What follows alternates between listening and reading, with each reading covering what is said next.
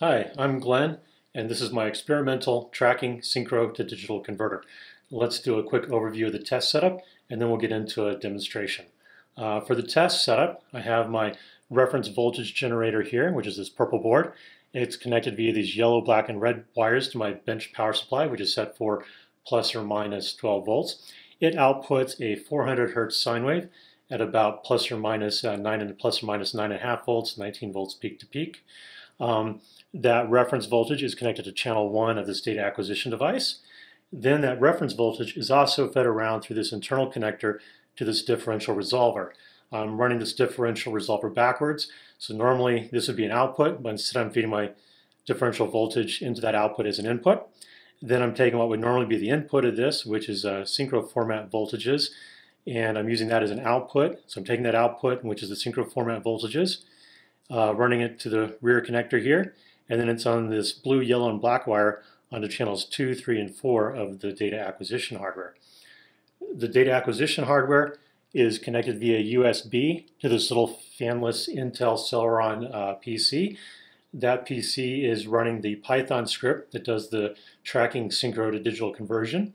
The output of that script is fed over uh, USB CDC on the second USB cable to a little ESP32 board over here, um, which receives the, uh, the, the computed angle and displays it on this OLED display.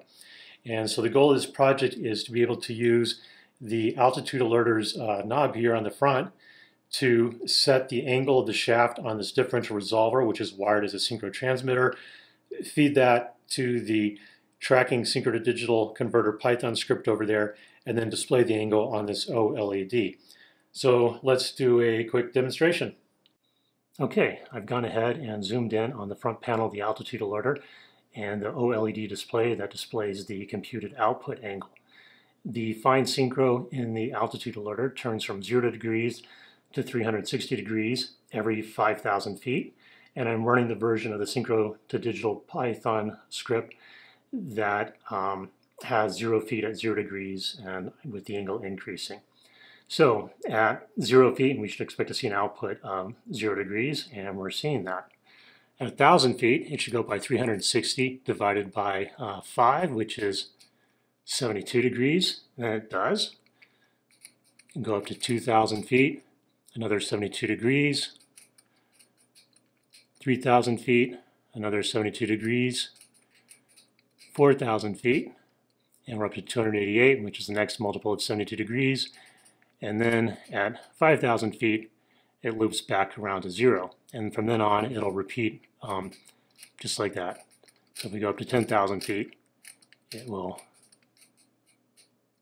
go back to zero degrees. And likewise, when we go backwards, if we go backwards 1,000 feet, it's back to 288. Go all the way back to uh, 5,000 feet, and it'll be back to zero degrees. Uh, 3,000 again, 216, 2,144, 1,072, and zero degrees, we're back at uh, zero feet. Zero feet, and we're back at zero degrees. Um, you know, the, the interesting thing about this is that really not really, I'm not really trying too hard, and yet I'm getting a tenth of a degree accuracy, and it's pretty steady you know, so it's able to detect just the slack in the in the in the gearing here.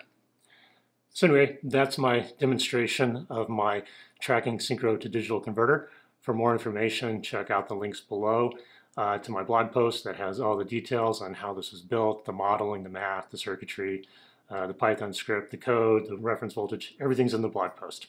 Thanks for watching. Bye.